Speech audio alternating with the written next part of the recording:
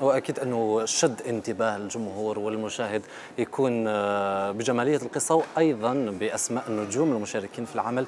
آه، ربما حضرتك تعودنا عليك أنك مكتشف المواهب الجديدة المواهب التي تدخل مجال السينما لأول مرة لكن في كارما شفنا أسماء مهمة جدا في كل الوطن العربي. ما شاء الله عليهم كلهم نجوم شباك تذاكر.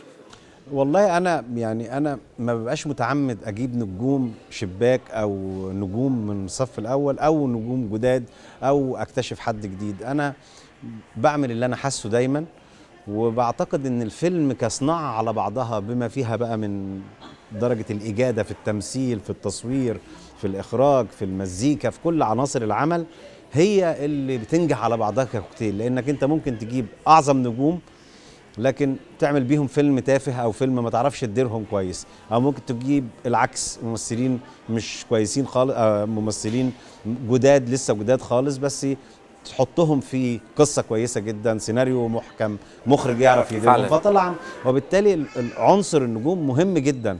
وببقى يعني ببقى حريص عليه بس دون قصدية متعمدة. أنا لازم يبقى معايا نجوم أو بخطط يبقى معايا نجوم.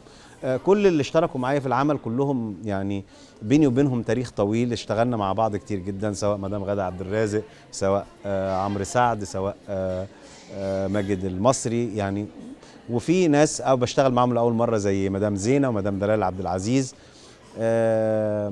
وفي وجوه جديدة قدمتها. أنا بحرص في كل فيلم إن أنا أقدم وجه أو وجهين جداد لأن ده دوري. إنه متى أنت امتلكت آه، آه، إن القدرة على تقديم وجوه جديدة وتبخل بده فأنت أكيد. ما بتضخش آه، دماء جديدة في عروق الصناعة وده بيبقى عيب كبير على أي سينمائي. إنه اتاحت له الفرصة إن هو